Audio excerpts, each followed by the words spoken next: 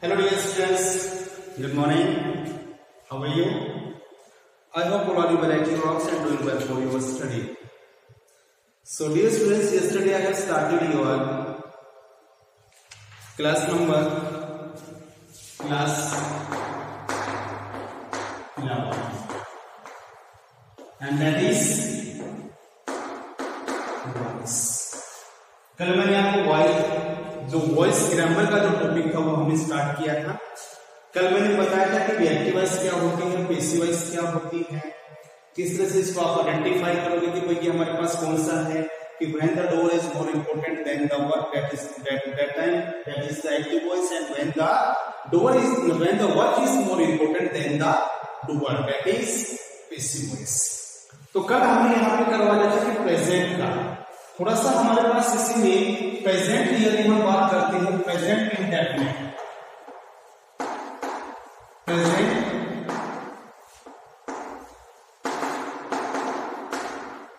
Tense की यदि हम बात करते हैं तो यहाँ पे हमने टॉपिक छोड़ दिया।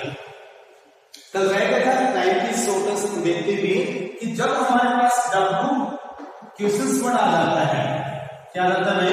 क्वेश्चन वर्ड प्लस में हमारे पास हेल्पिंग वर्ब आ जाती है प्लस में हमारे पास सब्जेक्ट होता है प्लस में हमारे पास वी वन होता है प्लस में हमारे पास ऑब्जेक्ट होता है लास्ट में हमारे पास इंटरोगेटिव सेंटेंस होता है तो इसको आप कैसे चेंज करो ये चेंज करने के लिए कल मैंने आपको बताया था और इसको आप अच्छी तरह से आप कर भी सकते हैं कि भाई किस तरह से हम इसको चेंज करते हैं। कि यदि हमारे पास किसी तरह का ऐसा सेंटेंस आ जाता है कि यहाँ पे लिखा हुआ है, कि भाई देखिए, वह do you see a movie ई आई when do you see a movie के आधार पर यहाँ पे फ़िल्म कर दीजिए।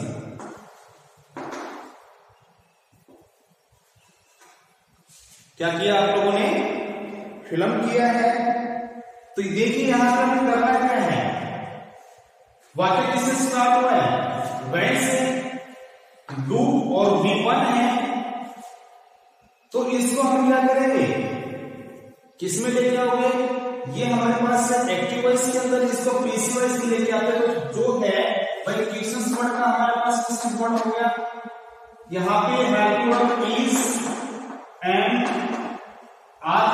किया उसके बाद हमने सब्जेक्ट उसके बाद यहाँ पे जो बी वन है इसको हमने क्या कर दिया? बी थ्री के अंदर यूज़ किया, उसके बाद हम यहाँ पे क्या लगाते हैं बाय उसके बाद हमारे पास क्या हो जाएगा? लास्ट में इंटरगेटिव मार्क्स तो देखिए, ये हमारे पास क्या है? सब्जेक्ट हो गया और ये हमारे पास क्या है? ऑब्जेक्ट है। तो आप लोगों को पहले ही पता है सब्जेक्ट को हम ऑब्जेक्ट बना देते हैं और ऑब्जेक्ट को हम क्या लेके आते हैं? सब्जेक्ट लेके आते हैं। तो इससे पहले देखिए क्वेश्चन हमारे पास लिखा हुआ है से अब देखिए, ये हमारे पास ग्रामर है सिंगुलर है या प्लूरल है? सिंगल वाक्य है तो सिंगल के साथ क्या आएगा हमारे पास? इस आ फ़िल्म हो गया? यहाँ पे क्या है? सीसा सीन उसके बाद हमने क्या लगाया बाई और उसके बाद क्या लगा? दिया यू और लास्ट में चीज़ ध्यान देना कि यदि हमारे पास वॉइस वाक्य के अंदर, वाक्य के अंदर यदि इंटरगेटिव सेंटेंस है तो उसको इंटरगेटिव सेंटेंस के अंदर ही रखना है। किसके अंदर रखना है? इंटरगेटिव सेंटेंस है तो उसको इंटरगेटिव सेंटेंस के अंदर ही उसको रखना है, उसको उसके अंदर नहीं लेके आना है। जैसे यहाँ पे है what do you eat what do you अब इस वाक्य को आप क्या करोगे? थोड़ा सा तो दिमाग में स्ट्रेस आएगा ना? क्योंकि स्ट्रेस तो भाई देखो, अगर कोई क्वेश्चन आपको डालने, सामने डालता है तो स्ट्रेस तो डालता ही है। तो देखिए हमने क्या करना है इसके अंदर? क्या इसके अंदर ऑब्जेक्ट है? ऑब्जेक्ट है, एक हमारे पास वर्ब है ऑब्जेक्ट इसमें दिया नहीं हुआ है। तो हम क्यों टेंशन ले टेंशन वो कहते हैं कि हिंदी मूवी के अंदर एक कहावत है, टेंशन लेने का नहीं, टेंशन देने का। आप अपना काम करते जाओ, टेंशन लेने वाला वो अपने आप लेके आएगा। यदि आप इसमें टेंशन लेके बैठ गए कि भाई मैं क्या करूँ, इसमें सब्जेक्ट तो है नहीं सब्जेक्ट तो दे दिया सबने, इसमें ऑब्जेक्ट नहीं दे रखा है तो इसको कैसे सोल्व करो? कोई दिक्कत नहीं है बेटा। यदि देखिए वाट का हमने क्या नहीं किया वाट हो गया। अब डूडस है तो आपको पता है प्रेजेंट इंडेफिनिट टेंस का वाक्य इस जमान के अंदर हमेशा लगेगा तो क्या लगेगा? इस लगा दिया। अब यहाँ पे आना क्या था? ऑब्जेक्ट का सब्जेक्ट बनाना था ना, लेकिन इसमें सब्जेक्ट ऑब्जेक्ट दे ही रखा है तो उसको ऑब्जेक्ट कहाँ से लेके आए तो कोई दिक्कत नहीं छोड़ दीजिए। व्हाट इज़ इटन ये आपके पास क्या हो गया? Eat ate eaten eaten by you last में क्या हो गया? What is written by you अगर यहाँ पे ऑब्जेक्ट होगा तो ऑब्जेक्ट को हम यहाँ पे लिख देते लेकिन ऑब्जेक्ट है नहीं। भाई, ये पूछा जाता आप क्या खाते हो? तो ये क्या लिख दिया कि आपके द्वारा क्या खाया जाता है। ठीक है? दूसरा इसी का वाक्य जो कल करवाने वाले थे, हमने बताया था कि जब डब्ल्यू एच ओ में हु आ जाता है तो हु को हमेशा किससे चेंज कर देते हैं? बाय हूम के अंदर इसको चेंज करते हैं। तो देखिए इसमें लिखा हुआ है who teaches you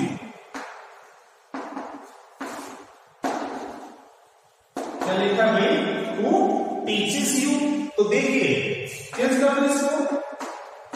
bye home ऐसे लगा V1 है। प्रेजेंट इंडेफिनिट है और प्रेजेंट इंडेफिनिट है तो उसी फॉर्मूले के ऊपर आ जाओ। इज़ क्योंकि यहाँ पे क्या है आ यू है और यू के साथ इस कभी भी नहीं आता है इस ध्यान दीजिए, यहाँ पे आएगा आ यू चीज़ की थर्ड फॉर्म लगा दीजिए अब ऑब्जेक्ट नहीं है, छोड़ दो, क्योंकि इसमें पूछा गया ना कि by who are you top. ये हमने बस छोड़ दिया था कोई बात नहीं आज हमने इसको कंप्लीट कर लिया है। अब हम यहाँ पे चलते हैं हमारे पास नेक्स्ट उसके अंदर। समझ में आ गया सभी को ये? आप सभी इसको उतार सकते हो। अभी जो हम करवाने वाले अभी जो थोड़ा सा आपका सवाल में थोड़ी प्रॉब्लम आती है इसके अंदर, और उसके बाद कोई भी किसी तरह की कोई प्रॉब्लम नहीं आएगी, ऐसा मैं मानता हूँ। कि भाई आपका हमारे पास टेंस आता है। Present continuous